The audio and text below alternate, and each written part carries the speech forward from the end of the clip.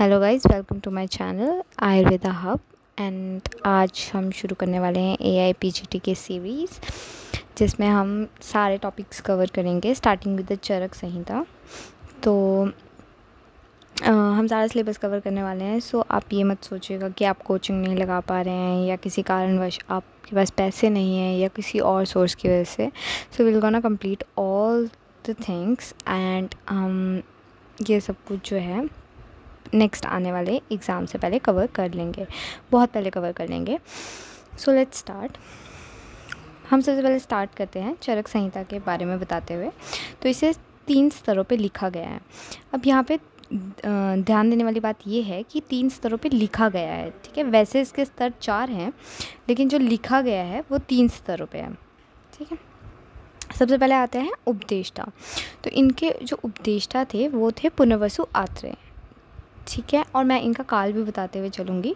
तो इन्होंने हज़ार बीसी यानी हज़ार ईसा पूर्व में इसे लिखा है, ठीक है? बीसी मैंने ईसा पूर्व ठीक है, उसके बाद आता है तंत्रकर्ता। तो इसके जो तंत्रकर्ता थे, वो थे महर्षि अग्निवेश, ठीक है? अब ये तो दिखती बात है कि जो उपदेष्टा उपदेश कर रहा होगा तो तंत्रकर्ता उसे लिख रहा है तो सेम ही काल में लिख रहा होगा, है ना? तो इसलिए इनका भी काल जो है वो हज़ार ईसी, ईसा पूर्व या फिर बीसी है, ओके? इन्होंने जो ये सारा लिखा, ये लिखा सूत्र रूप में। ठीक है, अब मैं बताती रहूँगी किस किस रूप में लिखा। प्रतिसंस्कर्ता हमारे चरक थे, जो 200 बीसी में आए थे। इन्हें भाष्यकार भी बोला जाता है। अब अगर आप ढंग से आपने चरक संहिता पढ़ी होगी, ढंग से भी छोड़ो, बिना ढंग से भी पढ़ी होगी तो आपको पता होगा कि उसमें बहुत जगह ऐसे है कि इन्होंने आत्र अग्निवेश ने आत्रे से प्रश्न किया आत्रे ने उसका उत्तर दिया। ठीक है? तो इसे जो है, वो उन्होंने किस रूप में लिखा है? भाष्य के रूप में लिखा है कि उन्होंने भाषण देते हुए, ठीक है? तो भाष्य रूप में लिखे थे संपूरक जो थे, वो थे आचार्य दृढ़बल उनका जो काल है, वो है फोर्थ एडी और अब हम एडी वाले में पहुँच चुके हैं, ठीक है? और इन्होंने जो लिखा, वो लिखा संग्रह रूप में। ठीक है, ये हो गए सारे स्तर। अब स्तर के बाद अगर हम बात करें तो हम हर एक स्तर पे जिन आचार्यों की हमने बात करी उनकी हम बात करेंगे। सबसे पहले आते हैं आत्रे पुनर्वसु ठीक है? आत्रे पुनर्वसु का काल मैंने बताया था, हज़ार बीसी यानी हज़ार ईसा पूर्व होता है। ये यायावर कोटि के ऋषि थे, ठीक है? तो यायावर कोटि कौन सी होती है? जो यहाँ वहाँ घूमते हुए, भिक्षा लेते हुए जो है आगे को बढ़ते हैं, वो होते हैं यायावर कोटि के ऋषि। और जो एक जगह जैसे तप तप करते हुए करते हैं, वो अलग होते हैं। तो ये यायावर कोटि के ऋषि होते हैं, ठीक है? चरक संहिता में जो है वो तीन आत्रेयों का वर्णन हमें मिलता है। सबसे पहले आते हैं पुनर्वसु आते दूसरे कृष्ण आते तीसरे भिक्षु आते हैं। अब आप ढंग से देखेंगे तो जैसे कृष्ण है, ये मैं बस याद करने के लिए बता रही हूँ तो चरक सूत्र ग्यारह में इनका वर्णन है। तो और कुछ योग भी कृष्ण आत्र ने बताए हैं, जो हम आगे बढ़ते हुए पढ़ेंगे। और तो कृष्ण के मतलब जैसे क में जैसे डंडा है और न में डंडा है तो उससे मैंने याद किया है कि चरक सूत्र ग्यारह, आप कैसे भी कर सकते हैं। भिक्षु आत्र जो है, वो चरक सूत्र पच्चीस से किया है, ठीक है? तो जैसे इसमें जैसे मैंने इसे ऐसे याद किया था कि जैसे जो भिक्षा मांगते हैं तो वो कहते हैं, मेरी छोटी छोटी बच्ची है तो भिक्षा दे दो, ठीक है? तो छोटी छोटी बच्ची तो यानी पच्ची, ठीक है? तो चरक सूत्र पच्चीस। भिक्षा देते यानी भिक्षु आते हैं। अब उसके बाद आता है कि पुनर्वसु के शिष्य। तो पुनर्वसु के शिष्य की बात करें तो इनके छः शिष्य थे, ठीक है? अग्निवेश प्राशद जतुकरण हारित, भेल, चारपानी। इसको आप ऐसे याद कर सकते हैं ए बी जी पी हारित, चारपानी, ठीक है? तो ए से आ जाता है अग्निवेश बी से आ जाता है भेल जे से आ जाता है जतुकरण और पी से आ जाता है प्राशर हारित और चारपानी तो लिखा हुआ है एज इट इज़ अब उसके बाद आता है उपलब्ध संहिता। अब इसमें आप ढंग से देखोगे तो आपको पता ही है कि हमें तीन संहिता इनमें उपलब्ध है अग्निवेश तो हमें चरक के रूप में मिलती है, भेल भी हमने इतनी जगह पढ़ी होती है और हारित भी। इसके सिवा शार पानी और जतुकरण, प्राशर ये हमें नहीं मिलती, ठीक है? उसके बाद आते हैं हम आत्र के अन्य नाम पे। अब आ जाते हैं हम आत्र के अन्य नाम पे। आत्र के जो अन्य नाम थे वो थे चंद्रभाग, चंद्रभागी और दुर्वासा। तो दुर्वासा इसमें अलग सा है तो आपने जैसे रामायण या महाभारत में मतलब सुना होगा ये नाम, दुर्वासा। उसके सिवा आ गए चंद्रभाग और चंद्रभागी। ठीक है, ये इनकी माता के नाम के ऊपर इनका नाम पड़ा। नेक्स्ट आ जाते हैं हम अग्निवेश पे। अग्निवेश का काल भी सेम ही, हज़ार बीसी था, ठीक है, सूत्र रूप में इन्होंने लिखा, हम पहले भी बात कर चुके हैं। बाकी इन्होंने एक और टीका लिखी है, जिसका नाम है अंजन निदान। तो इसको हम कैसे याद कर सकते हैं कि अ से अंजन और अग्नि, नी से आ जाता है निदान। तो अग्निवेश ने क्या लिखा है? अंजन निदान। ओके नेक्स्ट हम आ जाते हैं चरक पे। तो चरक का काल जो था, वो था 200 हंड्रेड ठीक है? इन्होंने जो लिखा है, वो लिखा है भाष्य रूप में इसे। तो तो हम पहले ही बात कर चुके हैं, भाष्य रूप में लिखा है। अब इनकी बात करें तो इसमें आ जाता है कि ये कुषाण वशी जो राजा थे, ठीक है, वहाँ पे कनिष्क के राजवैद्य थे ये, ठीक है? जो कुषाण वंशी यानी कुषाण वंशी होते है, जैसे अलग अलग वंश होते हैं, राजवंशी वैसे कुषाण वंशी जो थे, वहाँ के राजा कनिष्क के जो राजवैद्य थे, वो ये थे, ठीक है? बाकी ये मनु स्मृतिकालीन कालीन थे। अच्छा मनु समृद्धि मतलब कि पहले समृद्धि होती थी कि कहाँ से एडन से स्टार्ट हुई है दुनिया ऐसे ऐसे तो मनु समृद्धि जब जब मनु से माना जाता है कि मनु से इसकी शुरुआत हुई है दुनिया की तो वैसे मनु समृद्धि कालीन थे, ठीक है? इनके पिता का नाम विशुद्ध था, ये बहुत इंपॉर्टेंट होता है कि लोग इसमें बहुत कन्फ्यूज़ होते हैं कि पिता का नाम विशुद्ध था कि गुरु का नाम विशुद्ध था तो याद रखिएगा पिता का नाम विशुद्ध था और गुरु का नाम वैशम था, ठीक है? अच्छा तो पिता से ऐसा कर सकते हैं ना कि उनके शुक्र भाग से बने तो शुक्र से शु आ जाता है तो विशुद्ध, ठीक है? और वैशम पायन जो थे वो उनके गुरु थे। अब आ जाते हैं कि इनको हम गोत्र प्रवर्तक ऋषि भी बोलते हैं, ठीक है? दूसरा आता है कि भाव प्रकाश भाव प्रकाश ने चरक को जैसे उपमा देते हुए कहा कि ये अनंत अवतार है और ये शेषनाग के अवतार हैं तो शेषा अवतार भी बोला इन्हें और अनंत अवतार बोला।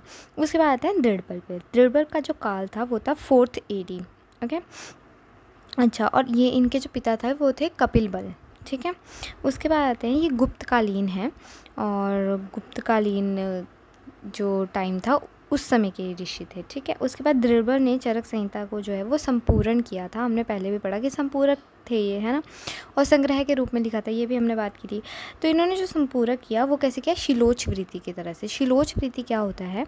जब, जैसे जो चिड़िया होती है, वो कन कन इधर उधर से कन कन उठा उठा के अपना नेस्ट तैयार करती है, ठीक है? तो वो हर एक छोटी चीज़ों से ऐसे करती है तो छोटी छोटी चीज़ों को सब कुछ मेंशन करते हुए ना शिलोच वृत्ति इसे कहते हैं, ठीक है? उसके बाद आते हैं कि इन्होंने फोर्टी वन चैप्टर्स पूरे किए तो सिद्धि और कल्पना के बारह बारह चैप्टर्स इन्होंने पूरे किए हैं, ठीक है? और चिकित्सा स्थान के सेवनटीन चैप्टर्स तो हम ये नहीं याद करेंगे, जो सेवनटीन इन्होंने किए थे वो नहीं। जो इन्होंने नहीं किए थे वो याद करेंगे तो सेवनटीन अपने आप बन जाएँगे, ठीक है? जैसे इन्होंने कौन से नहीं किए तो फ़र्स्ट एट चैप्टर्स इन्होंने नहीं किए थे, जैसे रसायन, वाजीकरण, ज्वर रक्तपित गुल्म प्रमेह कुष्ठ, राजक्षमा। ये इन्होंने नहीं किए थे। और इसको छोड़ के A A V V M नहीं किया था। तो वो क्या हो गया? अर्श, अतिसार, विसर्प, द्विवरणीय अध्याय मताध्याय ठीक है? उसके बाद आते हैं हम इनके स्थान और उसके चैप्टर्स पे, ठीक है? तो सबसे पहले आता है सूत्र स्थान सूत्र स्थान में है थर्टी चैप्टर्स फिर निदान, विमान, शरीर।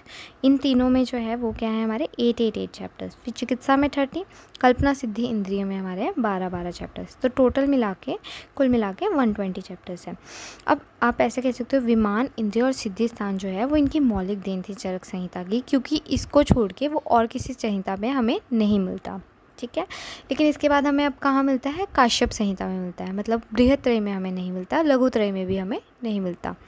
उसके बाद आते हैं कि जो चरक संहिता है, और मतलब शिवदास सेन जो है, वो कहते हैं कि चरक संहिता जो है, उसमें उत्तर तंत्र भी एक पार्ट शामिल था, जो अब नहीं मिलता, लेकिन था मतलब।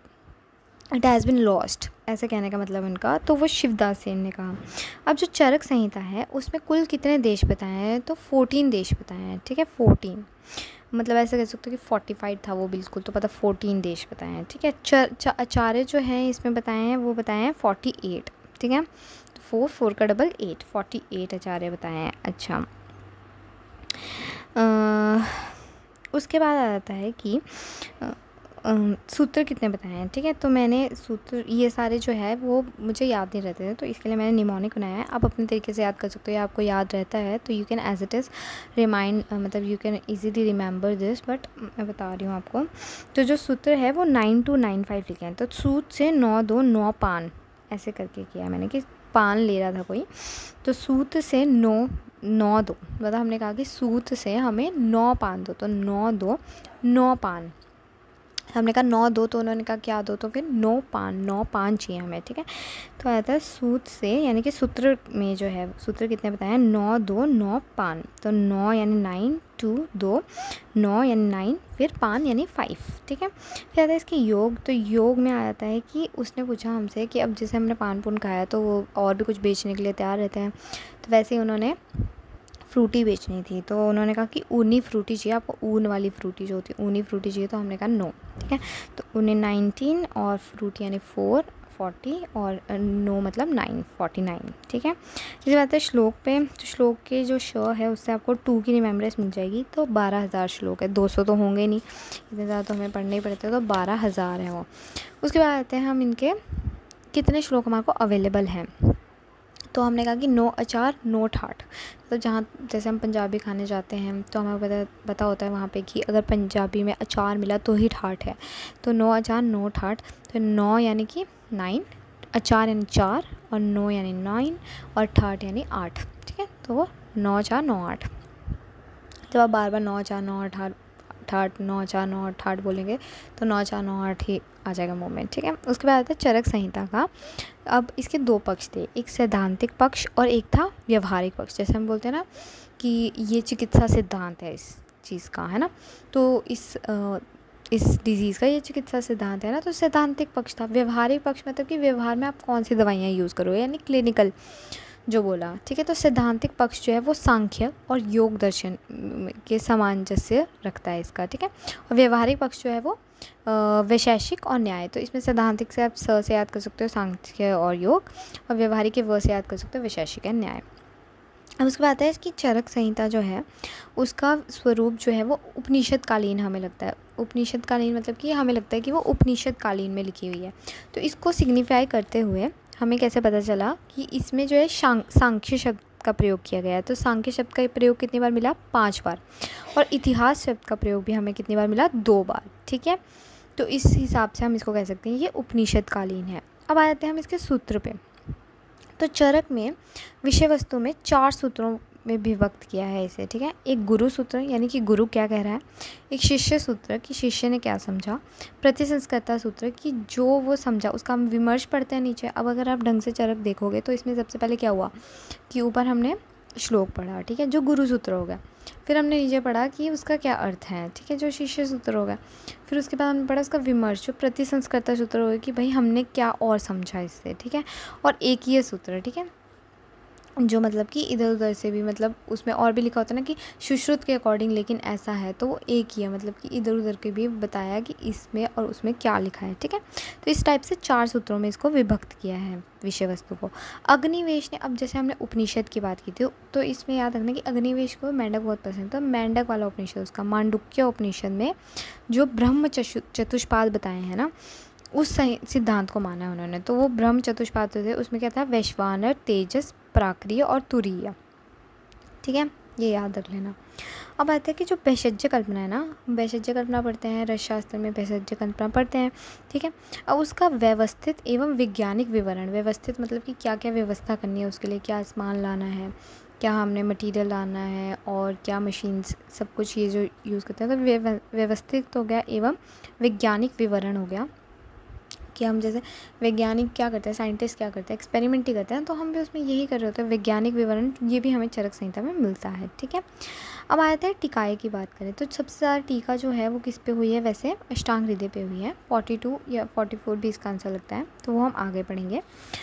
फ़िलहाल हम पढ़ते हैं कि इसमें जो फोर्टी वन टीकाएँ हुई हैं कुल, ठीक है? तो इसमें सबसे पहले आते हैं चरक न्यास, ठीक है? चरक न्यास जो है वो भट्टार हरिश्चंद्र ने लिखी थी। ठीक है? इसके आधे न से आप आधा ट याद कर सकते हैं। तो चरक न्यास भट्टार हरिश्चंद्र ठीक है? आधा चरक पंजिका।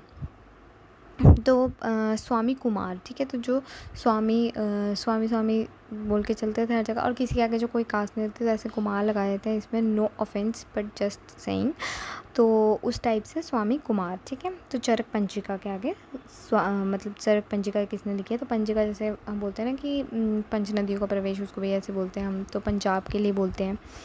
तो उसमें भी हम यूज़ कर सकते हैं स्वामी कुमार, ठीक है? अगर आप समझ रहे हो मैं क्या कह रही हूँ। अब आता है चरक वर्तिका। तो जो हम वर्ती बनाते हैं, जैसे दूध की वर्ती बनाते हैं, हम जब दूध कर्ड बन जाते हैं तो उसकी वर्ती बनाते हैं तो शीर स्वामी दत्त में आ जाता है, ठीक है? फिर उसके बाद आता है परिहार वार्तिक। परिहार वार्तिक में याद रखना, इन्हें वार्तिकाकार भी बोलते हैं, और परिहार वार्तिक जो है वो आषाढ़ वर्मा ने लिखी थी, ठीक है? तो परिहार, हम नहीं कहते कि ये परिहार काल फॉलो करना, पंचकर्म में बोलते हैं, हर एक प्रोसीजर के बाद परिहार काल फॉलो करना पड़ता है। तो वो जो परिहार काल होता है अब जैसे आषाढ़ एक ऋतु है ना तो ऐसे हम याद कर सकते हैं कि आषाढ़ में किया था तो आषाढ़ वर्मा से परिहार वार्तिक याद रखना और यही वार्तिकाकार है। फिर आता है निरंतर पद व्याख्या तो निरंतर मतलब बार बार पद व्याख्या मतलब बार बार कोई पद आ रहा है तो वैसे ही जेजट में जैसे ज ज ज कितनी बार आ रहा है ना तो ऐसे याद कर सकते हैं। फिर आता है बृहद तंत्र प्रदीप बृहद तंत्र प्रदीप में आता है नरदत्त, ठीक है? तो बृहद, ऐसे नरदत्त। है नरदत्त बृहद ऐसे याद कर सकते हैं। फिर आता है चरक चंद्रिका। तो चरक चंद्रिका जो थे वो गयदास ने लिखी थी। तो गयदास चंद्रिका लिखना ऐसे याद किया था मैंने इसे। तो चंद्रिका कार क्यों बोला जाता है? इन्हें चंद्रिका कार भी बोला जाता है तो क्यों बोला जाता है? क्योंकि इन्होंने इवन न्याय चंद्रिका जो लिखी है, वो इन्होंने लिखी है सुश्रुत पे। ठीक है? चरक चंद्रिका तो सिंपल इस पर न्याय चंद्रिका इन्होंने सुश्रुत पे लिया सुश्रुत के साथ भी न्याय होना चाहिए। फिर चरक भाष्य जो है, वो किसने लिखा है? श्री कृष्ण वैद्य ने। तो कृष्ण में भी क्ष जो है, षटकोण वाला लगता है और भाष्य में भी तो वैसे याद कर सकते हो आप इसे। आयुर्वेद दीपिका जो है, वो किसने लिखी है? चक्रपाणी ने। अच्छा उसके बाद आते हैं हम जो ये चक्र पानी हम इतने पढ़ते हैं तो ये आयुर्वेद दीपिका लिखी है इन्होंने ठीक है? फिर आता है चरक वृत्ति तो चरक वृत्ति किसने लिखी है? गुणाकार ने ठीक है? तो वृत्तियों को गुणा करते जाओ है ना तो, तो गुणाकार। फिर आता है तत्व प्रदीपिका ये लिखी है शिवदास सेन ने ठीक है? इन्हें तत्वाकार भी कहा जाता है। और देखो, श्रेष्ठ तत्व जो है वो किसके पास है? शिव के पास है तो शिवदास ने लिखा है। जल कल्प तरु गंगाधर राय, ये तो बिल्कुल ही क्लियर है कि जल जो है वो गंगा में बहता है तो गंगाधर राय। चर को उपस्कार तो चर को उपस्कार योगेंद्र नाथ सेन ने लिखे है तो चर को को यो से हम कर सकते हैं योगेंद्र नाथ सेन, ठीक है? चरक प्रदीपिका जो है वो किसने लिखी है? देखो, तत्व प्रदीपिका जो है, तत्व की बात की थी मैंने कि शिवदास के, शिव का तत्व जो है वो, ठीक है? चरक प्रदीपिका जो है वो सिंपल चरक के ऊपर तो ज्योतिष चंद्र सरस्वती ने लिखी है ये, ठीक है? देखो, सरस्वती जो थे वो पढ़ाई की देवी थी तो च उन्होंने तत्व तत्व नहीं उन्होंने बुक्स पे ध्यान दिया तो चरक पे ध्यान दिया, ठीक है? तो ज्योतिष चंद्र सरस्वती ने। फिर विद्योतनी टीका, जो कि हम पढ़ते हैं आजकल तो वो काशीनाथ शास्त्री ने या गोरखनाथ चतुर्वेदी ने लिखी है, और रविदत्त त्रिपाठी ने लिखी है वैद्य मनोरमा, और ब्रह्मानंद त्रिपाठी ने लिखी है चरक चंद्रिका व्याख्या। उसके बाद आता है चरक संहिता का सबसे पहले जो हिंदी अनुवाद था, वो किसने किया था? पंडित ज्वाला प्रसाद अब देखो हमें बताया कि सबसे पहले क्या होता है? पंडित ही आए थे जो पढ़ते थे, है ना? तो पंडित आ जाता है। दूसरी बात आता है कि ज्वालामुखी फटे थे, तभी ये देश में, तभी ये मतलब स्थापित हुआ था जो भी।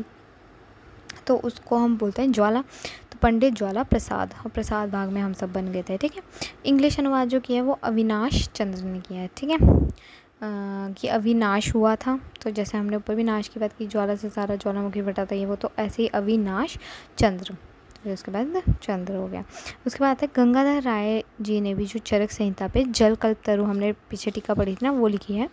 उसमें एक्चुअल में इन्होंने एक वर्ड से मेंशन किया है। वर्ड तो क्या है? मतलब एक ग्रुप ऑफ़ वर्ड से मेंशन किया है चरक को, वो है अखिल शास्त्र विद्या कल्प द्रुम। ऐसा कहा है चरक संहिता के लिए ठीक है? तो आज के लिए हम इतना ही करेंगे। कल हम चरक का सूत्र स्थान जो है वो हम स्टार्टिंग से स्टार्ट करेंगे और शिशुत के बारे में भी कुछ पढ़ेंगे। तो स्टे ट्यून्ड और अगर आप मैं आपसे बिल्कुल प्रॉम मतलब ऐसे कह सकती हूँ कि अगर आप सारा कुछ ये फॉलो करेंगे एंड आप सारी वीडियोस फॉलो करेंगे सब कुछ पढ़ेंगे सो so, ऐसा हो ही नहीं सकता कि you haven't covered any syllabus ठीक है?